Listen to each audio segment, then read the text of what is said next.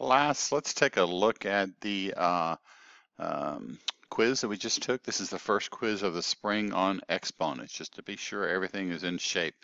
First problem is to rewrite something in radical form in exponential form.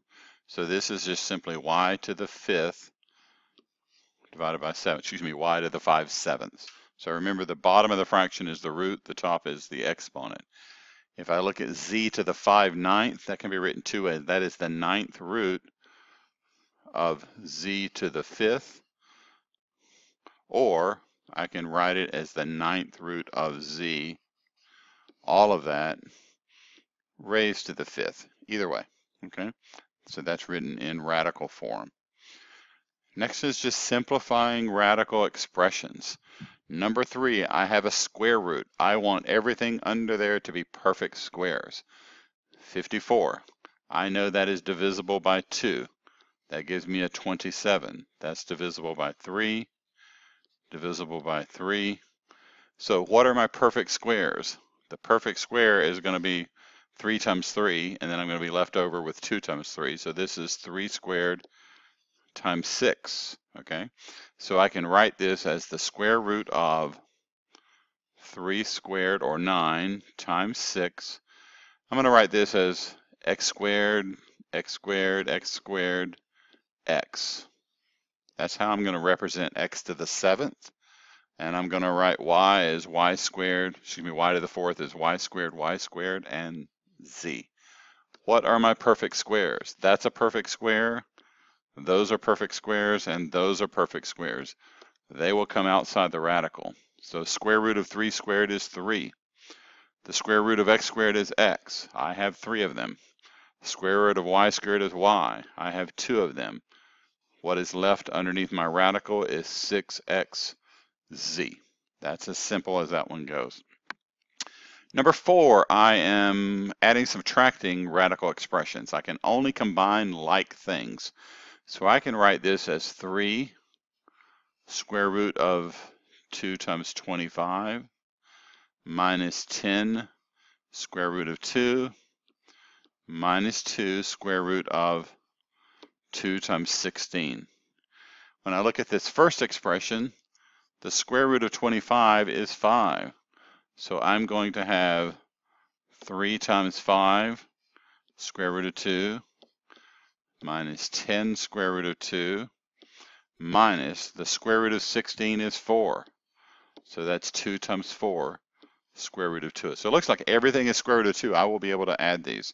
So I'm going to have 15 square root of 2 minus 10 square root of 2 minus 8 square root of 2.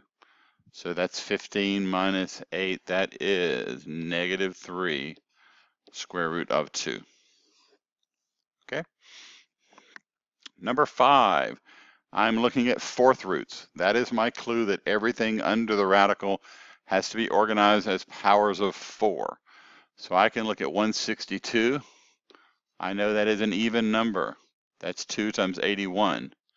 That's divisible by 3. Divisible by 3 again. Divisible by 3. Because it's a fourth root, I'm looking, does anything happen four times? It looks like there are four threes. That's 3 to the fourth times 2. Okay, so this is the fourth root of 3 to the fourth times 2. And then 32, you can work it out, or you may remember by this point, that's 2 to the fifth. So this is minus the fourth root of 2 to the fourth times 2. Fourth root of 3 to the fourth is 3. So this is 3 times the fourth root of 2 minus, and the fourth root of 2 to the fourth is 2. I'm left with the fourth root of 2. 3 fourth root of 2 minus 2 fourth root of 2 is just simply 1 times the fourth root of 2. So my answer is simply fourth root of 2.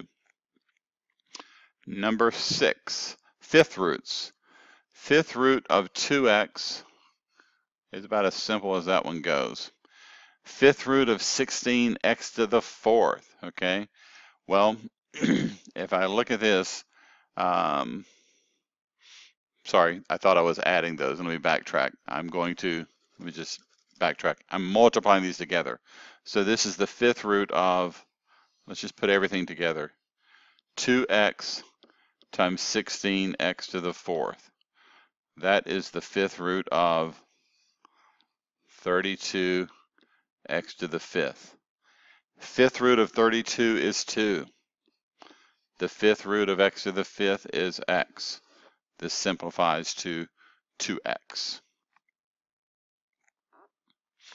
Number seven is just a test of whether or not you can stay organized, okay? When I look at this, it's real complicated. I'm just going to break it down using rules of exponents and quotients. So this is x squared minus negative 2. That, those are my x's. Let's look at my y's. I've got negative 2 on the top, minus 4 on the bottom. So I'm just using the quotient property. And then z to the 4 minus negative 4. So this becomes x to the fourth, y to the negative 6, and z to the eighth. To get rid of those negative exponents, this is x to the fourth, z to the eighth over y to the sixth. That is your final answer. Number eight, I see a big negative exponent, that negative three. Remember to make that an exponent positive, anything in the numerator goes to the denominator, the denominator goes to the numerator. So I'm just going to start off flipping the numerator and the denominator. So x cubed y to the negative 1 over 2 xy cubed. So it's going to be all of this raised to the third power. Now I've got choices. I can distribute that third power into everything, or I could simplify inside the parentheses first. I'm just going to simplify inside the parentheses. This is going to be x to the 3 minus 1, y to the negative 1 minus 3, all of that over 2. So this is x, and so it's, all of this is cubed, sorry. So this is x squared, y to the negative fourth over 2. All of that is cubed. So this is x squared over 2y to the fourth cubed, which is just x to the 6. 2 cubed is 8. y to the 4th cubed is y to the 12th. x to the 6 over 8y to the 12th power. Number 9, I'm back to cube roots. What can I organize under the radical to be perfect cubes? I can write this as the cube root of 8 times 3, and then b cubed b cubed. So my perfect cubes are 8, b cubed, and b cubed. Cube root of 8 is 2. Cube root of b cubed is b. I have two of them. And then I'm just left with the cube root of 3. Number 2, meant to trick you, but what you have under the square root, you've got something raised to the 0 power. That's just 2 times 1, and which is 2. Okay? Anything other than 0 raised to the 0 power is 1. On to page 2. Evaluate these expressions with exponents. Negative 27 to the 2 thirds power. So this is the cube root of negative 27, okay? And then all of that is going to be squared. Cube root of negative 27, what number can be multiplied three times and give you a negative 27? That's negative 3. When you square that, you get 9. Number 12, 1 fourth to the negative 3 halves. Let's take care of the negative exponent. That's 4 over 1 to the positive 3 halves. Okay, so that is, that's simply 4 to the 3 halves, which is the square root of 4 cubed, which is 2 cubed or 8. Number 13, cube root of 3 times a cube root of 9. Um, I can write this as a cube root of 3 times 9. That's the cube root of 27, which is simply 3. Negative 2 to the negative 2.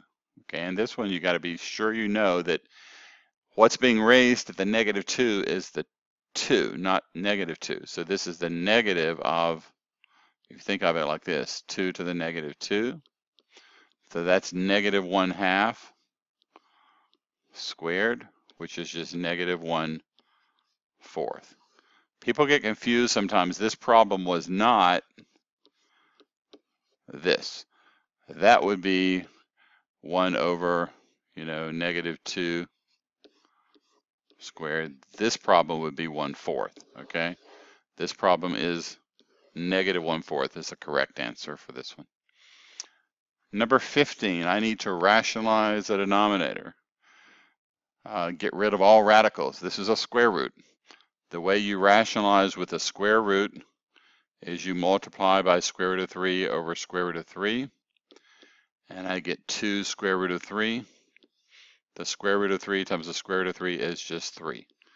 That is a rational denominator now. I've gotten rid of all radical expressions in the denominator.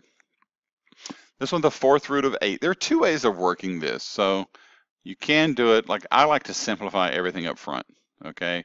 So this is, I like to write this, this is the fourth root of 2 cubed, okay? So to get rid of a fourth root, I would like to be taking the fourth root of something to the fourth.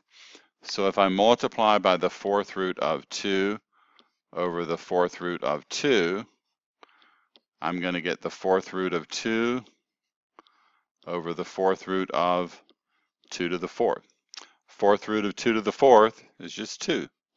So this is fourth root of 2 over 2. That is the simplest form of this answer. Now, if you didn't recognize 8 being 2 cubed, you could have still worked this problem. You could have said this is 1 over the fourth root of 8.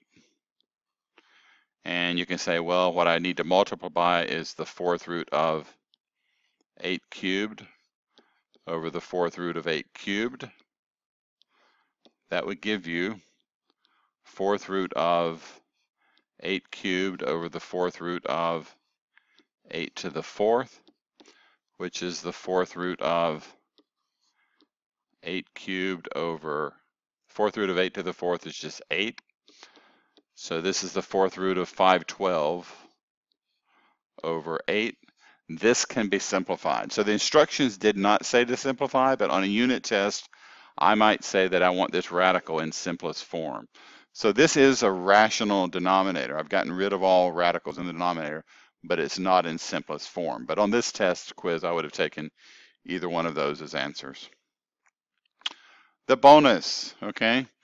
Look at that, look at the innermost thing. The square root of two is just two to the one half. So this whole expression is going to be 2 to the 1 half. The next radical is a cube root. So I'm raising this to the 1 third. The next radical is a one a fourth root, so I'm raising that to the 1 fourth. The next radical in this big complicated thing is a square root. So I'm raising that to the 1 half. These exponents need to be multiplied. 2 times 3 is 6 times 4 is 24, times 2 is 48. This is 2 to the 1 over 48. Okay? A bit complicated, but when you see it, it's just the, uh, the rules of exponents. So that is our quiz uh, that we just did with uh, exponents. If you did poorly on this or the things you missed, you need to go back and look at this because this material comes around again on the 29th and 29th uh, of January on our uh, unit test.